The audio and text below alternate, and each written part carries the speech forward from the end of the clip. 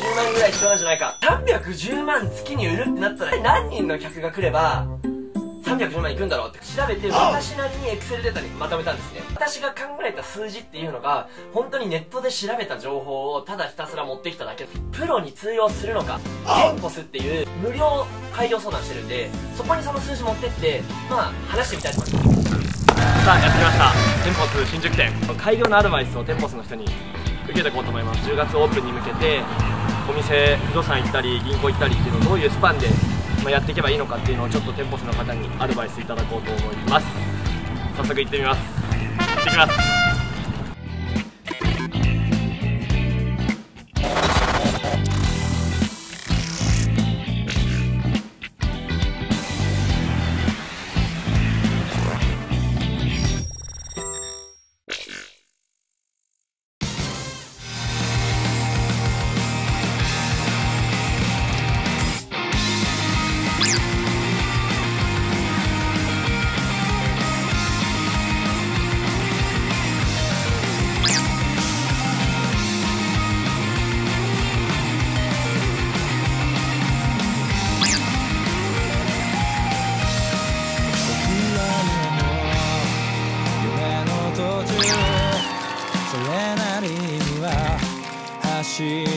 きたけど何が正しいとか何が間違いとか。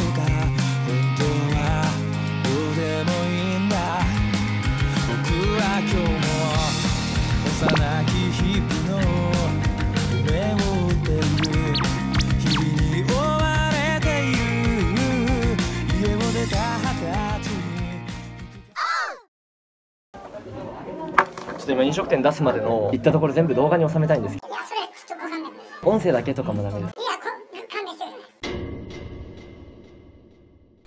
くれ。よいしょ。あの店舗数行ってきました、まあ、結論から言うと、まあ結論から言うと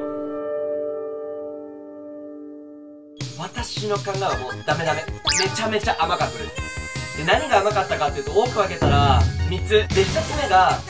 物件取得に関する費用の考えが甘かったです。2つ目が、えっと、内装費用ですね。3つ目は、まあ、店舗間10月にオープンするっていう店舗で今大丈夫なのっていうのが、まあ、甘かった考えのところです。まあ一つ一つ説明していこうと思うんですけどまず一つ目の、まあ、物件取得に関する費用の甘さ、まあ、そこなんですがまず私の思ってた渋谷浅草東京都23区、まあ、坪単価2万円で全然いい物件そもそも出てきませんよっていう話ともしいい物件出てきたとしてもそこには人が殺到してパッて取れるかっていうとそんな現実甘くないよ私は15坪ぐらいで家賃30万ぐらいでどうしてもやりたいんで。まあどこを妥協すればどうしたらいけるかっていうふうに聞いたんですけど、まあ、やっぱり現実見たらまあ居酒屋狭くするかそもそも家賃をもうちょっと高く設定する、まあ、もしくはその場所ですね場所を悪くする道路からすぐの道沿いの1階の店舗にこだわったらそれは無理だけど2階とか地下1階とか7階建てのビルの5階とかそういうところ妥協すればもしかしたら見つかるかもしれないっていうところだったんでまずそこの妥協点をちょっとこれから考えていこうかなって思ってます。で物件取得でもう一つ甘かったのが造作譲渡費用っていうんですけど家具家電付きの家とかあるじゃないですか、まあ、そんな感じで私が借りようとしてる物件は常に居酒屋とかでやってた店舗をそのまま借りようとしてるんですけどその時にある冷蔵庫とかの家電を、まあ、買い取る形でその居抜き物件を借りようとしてるんですね。その造作譲渡費用っていうのもまあ極限まで安くできるだろうと思ったんですけどまあそんなに甘くないぞと、まあ、高くやりたいっていう人が他にいたらもちろんそっちに行ってしまうしまあそれもあまり甘く考えるなっていうのが私に対する、まあ、結構厳しい意見だったなとあの思ってます。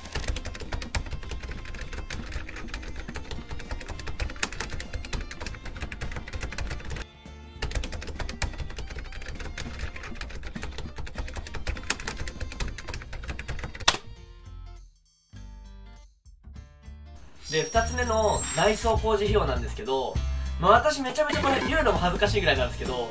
ぶっちゃけ200万ぐらいあれば内装工事なんてできんだろうって軽く考えてたんですね。で実際にまあ話聞いてみたら坪単価60万円ぐらい。で私がやろうとしてる15坪を単純に60かけたらもう900万。そっからいくら居抜き物件と自分の理想が合致するかでいくら費用を落とせるかっていうんですけど200万でやろうとしたら相当妥協だったり、まあ、頑張らないといけない。で3つ目の、まあ、店舗感、ざっくりして店舗感なんですけどまあ実際10月にオープンするっていうのも物件獲得っていう意味でスケジュール的にすごいタイトなスケジュールっていうふうにまず言われまして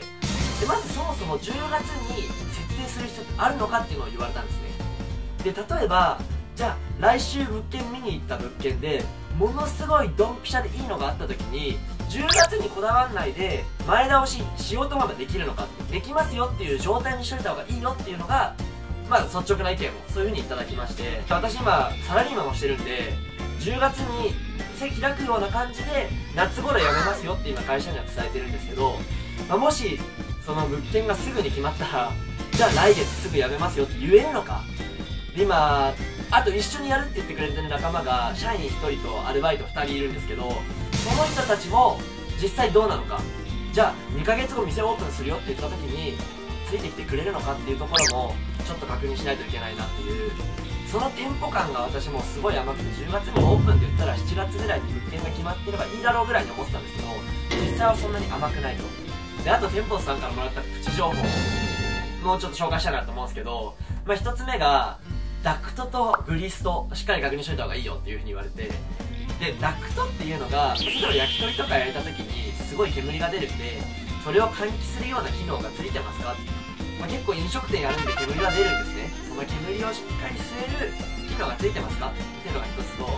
でグリストっていうのがキッチン内を例えばバケツで水ビシャー流した時にその水が溜まってゴミが溜まってくれるような水たまりみたいな機能のことを言うんですけどその機能がついてるかついてないかって本当に飲食店のキッチンでは大事ででカフェの居抜きとか取ってしまうと、まあ、それがついてない可能性あるんでしっかりついてるかそこがしっかり水漏れとかしないかっていうのを確認するのが大事ですよって情報をいただきました。どこの居抜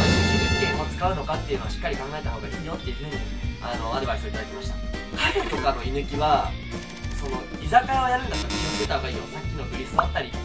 うのもあるんですけど、まあ、例えば中華料理とかだったら居酒屋にもそのまま移動できますけど、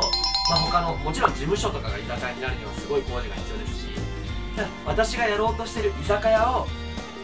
と近いもの近い状態居酒屋だったり中華料理だったりフレンチだったりイタリアンだったりそういうものにできるっていうのをしっかり探してくださいねっていう、まあ、アドバイスをいただいたんで、まあ、そこはしっかり守ってやっていこうかなって思います。本当にありがとうございます。でこれから、まあ、高校行ったり不動産行ったりいろんなことやっていくんでちょっとでも気になったなって思ってくれた方は次の動画もどんどん楽しみに定期的に動画を更新していこうと思いますのでぜひよろしくお願いします。以上早田でした。バイバイ。